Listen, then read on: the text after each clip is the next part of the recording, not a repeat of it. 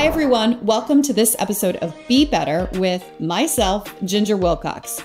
In this series, we bring you insights from our esteemed Better Homes and Gardens network, along with conversations with industry standouts, influential authors, and leading business figures. It's all about embracing a variety of perspectives. Our goal to empower and to inspire each of us to take charge of our careers and our businesses and to wholeheartedly celebrate our successes.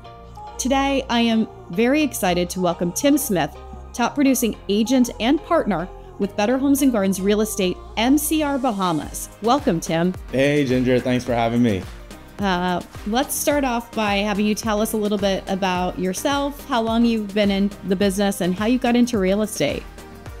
So, about myself, I was born and raised in the Bahamas, specifically Nassau.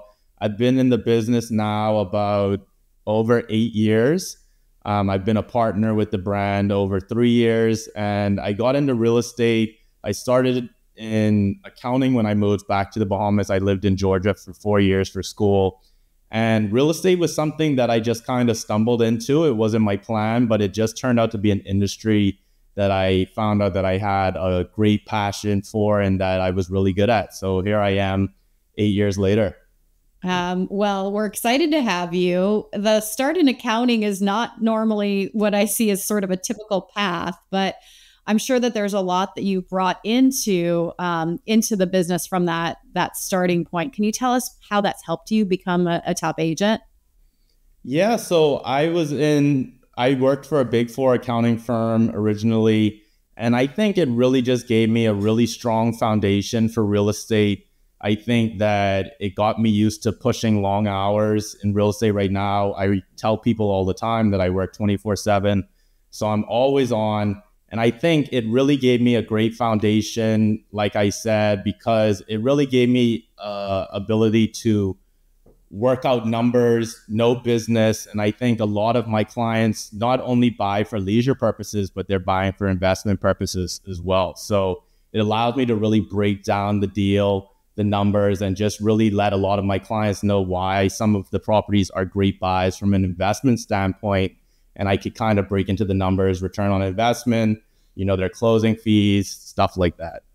Yeah, I can see where that would really, um, really be relevant because real estate is one of those vehicles for to to ultimately to build build wealth and and be a, a financial asset for people. So I think that that really makes a lot of sense. You know, you part of that is also because your market in the Bahamas is quite a bit different. It's really known for being sort of luxury and high end. What distinguishes the Bahamas from other luxury markets um, that we may see? Yeah, so the Bahamas is a very unique place, a very unique market. I think we have a lot of beautiful homes and a lot of great environments um, here, a lot of natural beauty that a lot of people gravitate towards. And that's what really drives the demand for a lot of people wanting to come to the Bahamas. So it's just that natural beauty, the great weather, as well as our proximity to the United States. You could get from the Bahamas to Miami in less than 30 minutes. We're on the same time zones as a lot of the East Coast. So that's what a lot of the people really love about the Bahamas and its market. And like you said, you could see price points anywhere from, you know, the hundreds of thousands to most expensive 60 70 million dollar homes so our price points can get up there but again the demand is there a lot of people want to be in the bahamas um, we were talking uh, uh, probably a, a, few weeks ago, and one of the I have always said the Bahamas was somewhat inaccessible from the West Coast where I live, but that's actually changing. There's now direct flights from LA, if I if I recall correctly. Yeah, so we now have three direct flights out of LA, which is great. It allows people to really get to the Bahamas in uh, a really easy and quick, convenient flight. So I'm glad that they brought those on board and it allows a lot of those people from the West Coast to get here quite easily.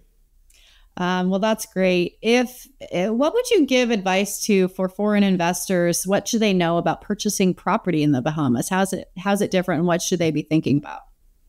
Yeah, so I think a lot of foreign investors that look at the Bahamas, there's two really big reasons that they're buying in the Bahamas is either for leisure purposes. A lot of people love the country, its natural beauty, and it's just a great place to be. But there's another component is that a lot of people like to take advantage of our tax regime over here. We don't have capital gains tax, we don't have inheritance tax, we don't have income tax. So a lot of people end up putting their permanent residency here in the Bahamas to take advantage of those tax um, benefits. And real estate is the vehicle that drives that. If you purchase something for $750,000 or above, it allows you to put your permanent residency here in the Bahamas. Okay. Um, very helpful to know that.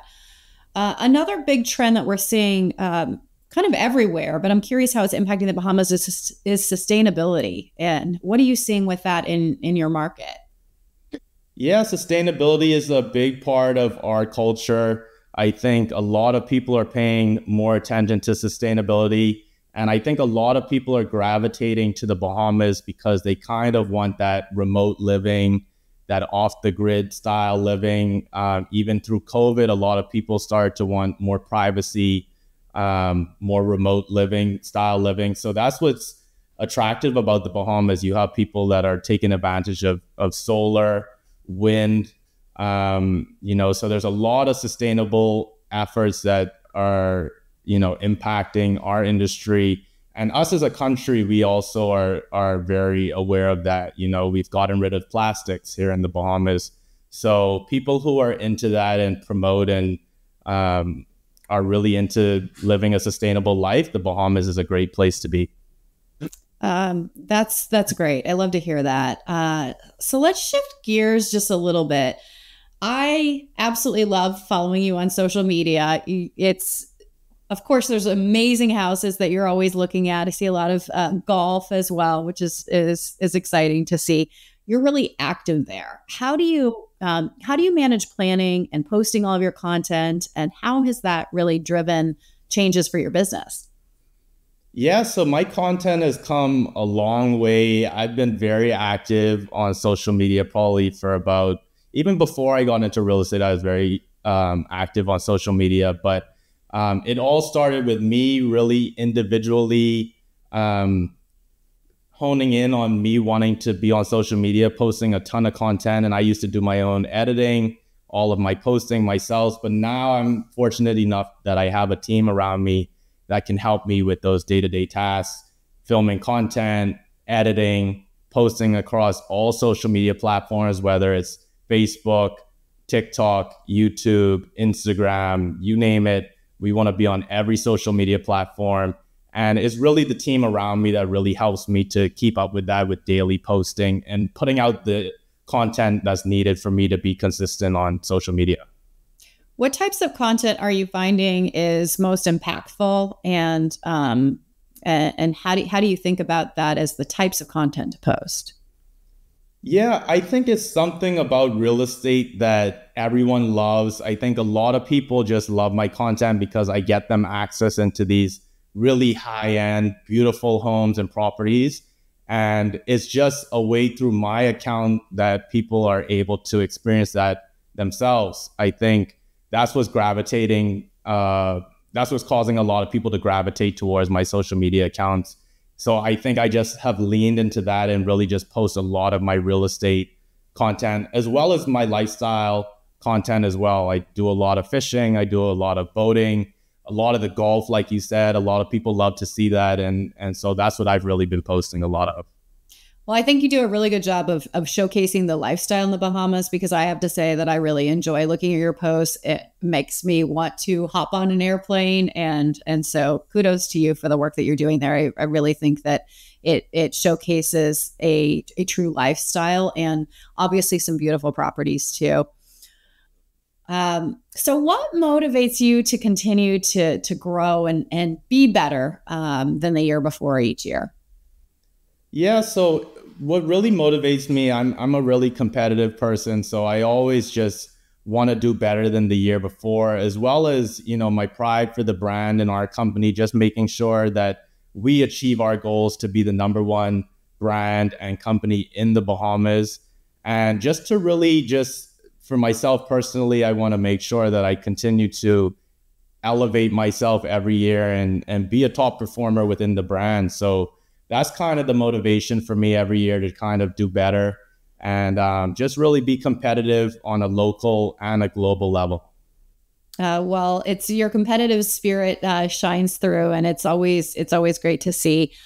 What are you looking forward to next? What's your big goal?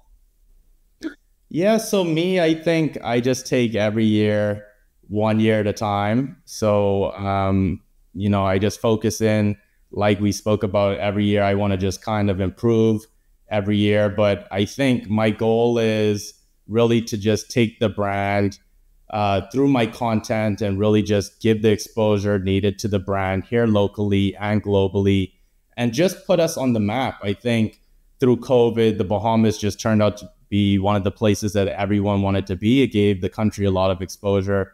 And just to continue to grow that exposure and really just do well and promote a lot of real estate. Uh, well, that's uh, that's a really great goal, and it's so great to see your continued success and how you represent Better Homes and Gardens real estate in the Bahamas. Um, you are just uh, achieving great things, and I look forward to continuing to see all of your great social media content. Thank you so much for being here today, Tim.